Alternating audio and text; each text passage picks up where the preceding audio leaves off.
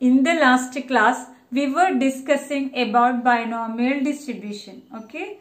Then uh, the conditions under which binomial distribution can be applied are number 1 each trial results in only two possible cases say a success and a failure respectively.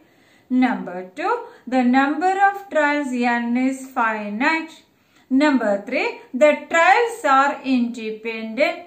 Number 4. The probability of a success P is a constant for any trial. Hence, a random variable X. X is the number of successes out of N. X follows B N P implies f of x equal to ncx p raised to x q raised to n minus x x equal to 0, 1, 2 etc. to n 0 less than or equal to p less than or equal to 1 q equal to 1 minus p where q is the probability of a failure and x is the number of successes out of n. Okay, then we have sigma x equal to 0 to n. F of x equal to sigma x equal to 0 to n. N z x p raised to x q raised to n minus x equal to q plus p whole raised to n equal to 1.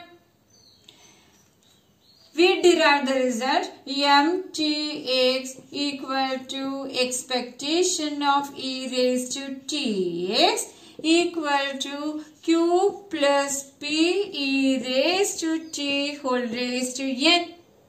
If x follows b and p, mtx equal to q plus p e raised to t whole raised to n. Now by using the uniqueness property of MGF, we can say if x follows b and p mtx equal to q plus p e raised to t whole raised to n and conversely if the mgf takes the form q plus p e raised to t whole raised to n x follows b and p. Now we derived mu1 dash as equal to expectation of x which is the mean of the distribution by d by dt of mtx at t equal to 0 and we get this as equal to np. Mu 2 dash equal to expectation of x square from the MGF we derive the result by d square by dt square of mtx at t equal to 0 and we have it as n into n minus 1 into p square plus np. So that variance of x mu 2 equal to mu 2 dash minus mu1 dash square. On simplification, we get the result as equal to npq which is the variance of x. So, standard deviation of x is square root of npq. Standard deviation of x is square root of npq. Now, we obtain the first four raw moments of binomial distribution. Okay. So x follows b and p implies f of x is so and so.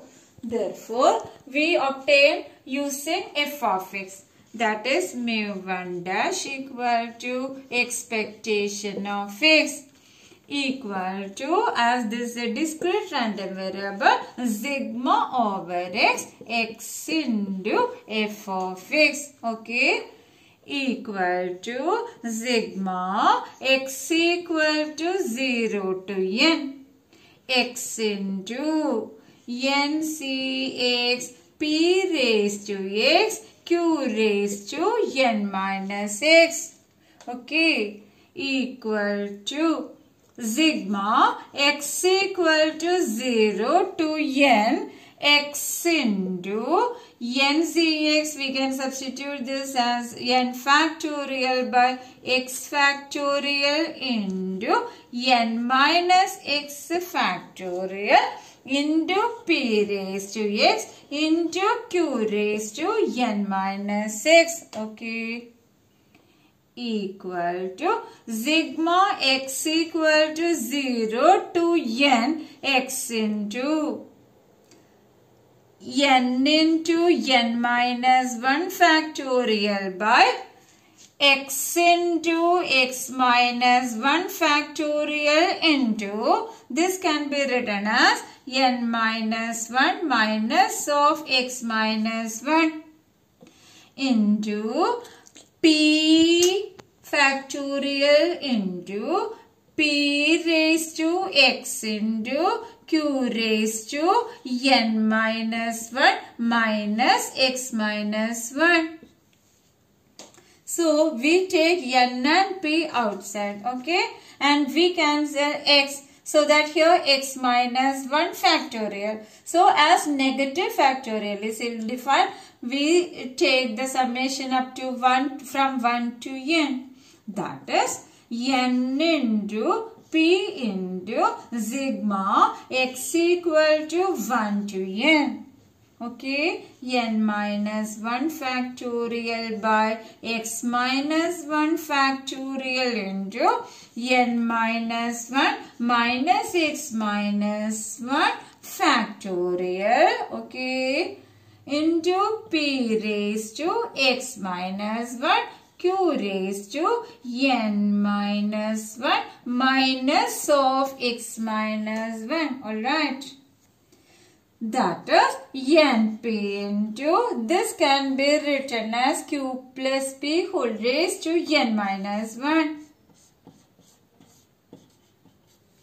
As q plus p equal to 1 we get this as equal to np. That is main equal to np. For binomial distribution, mean equal to NP. Alright. Now main 2 dash equal to, okay, expectation of x square.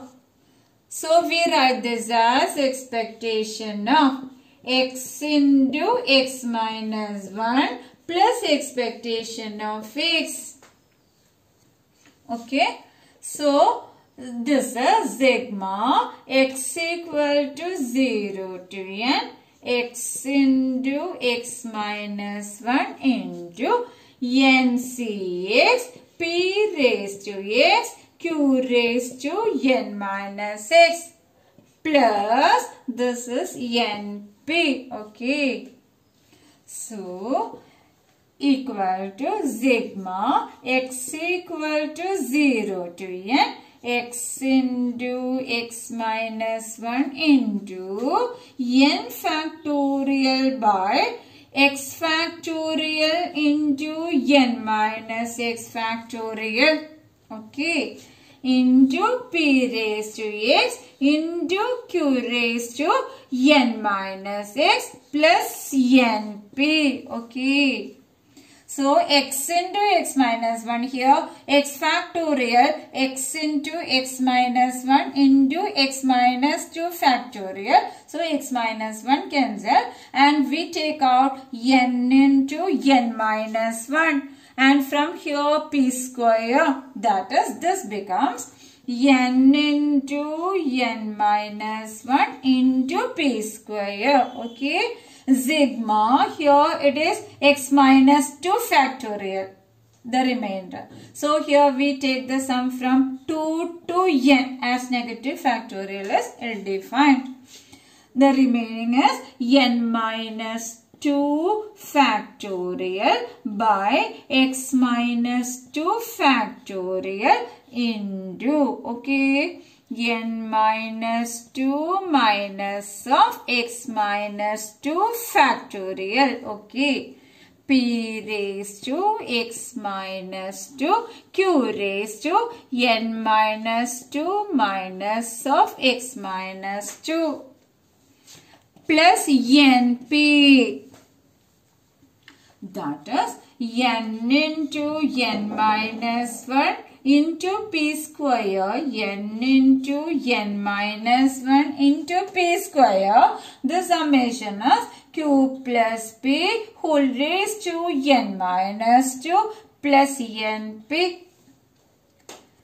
The final result is mu 2 dash equal to n into n minus 1 into p square plus np. Alright. Now, the third one, mu 3 dash.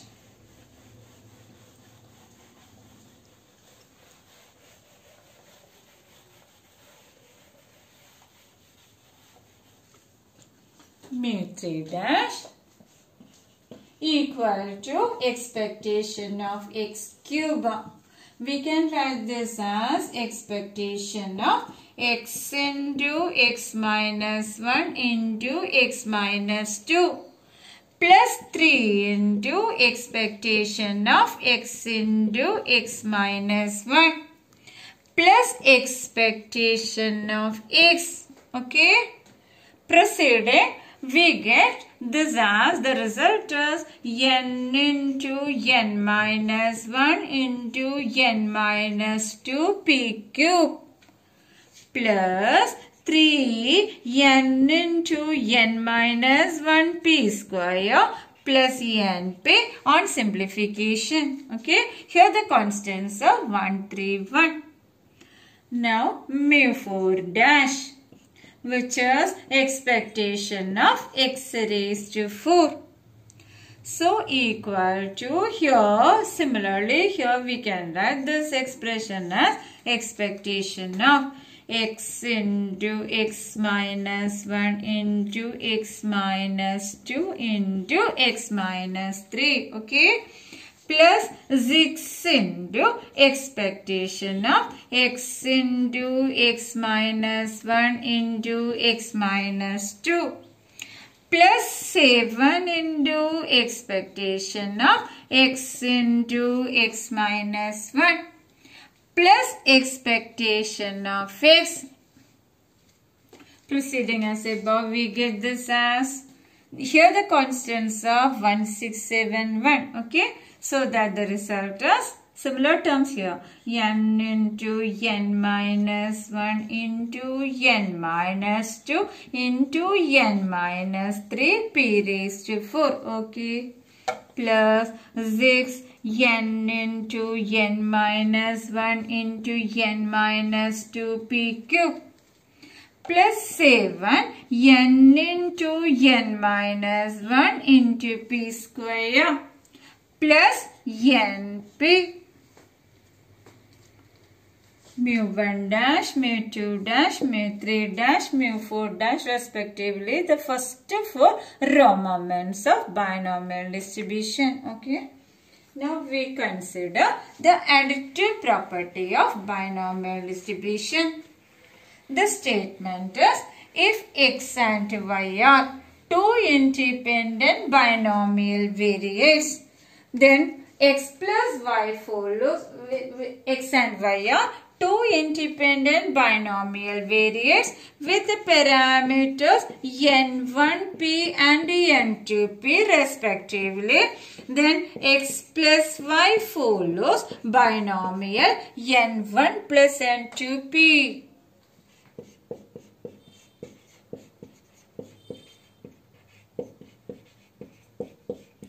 Okay, only under the condition x and y are independent. So that for the proof, we consider x follows b n 1p, the corresponding moment generating function, which is mtx equal to, we have the result as q plus p e raised to t whole raised to n1. y follows binomial n2p implies mty equal to q plus p e raised to t whole raised to n2. Now, by applying the additive property of MGF that is if x and y are independent here we have the results so we write since x and y are independent since x and y are independent the result is mt x plus y equal to mtx into mty okay mt x plus y equal to mtx into mty that is moment generating of function of the sum equal to the product of moment generating functions. Only under the condition the variables are independent. So we substitute that is mt x plus y equal to q plus p e raised to t whole raised to n1 into q plus p e raised to t whole raised to n2 okay? Equal to q plus p e raised to t whole raised to n1 plus n2 equal to what is this one? Mgf of binomial with parameters n1 plus n2 and p. Hence by the hence by the uniqueness property. Uniqueness property of MGF. Okay x plus y follows binomial n1 plus n2 and p. Now what is the uniqueness property? The MGF of a distribution is unique provided it exists. It exists. Okay. So that we, if we know binomial NP, the corresponding MGF is Q plus P raised to T whole raised to N. And if the MGF is Q, Q plus P raised to T whole raised to N, the corresponding uh, random variable is binomial NP. That is this X plus Y follows binomial N1 plus N2P. Hence we have the additive property Okay, we will continue. Thank you very much.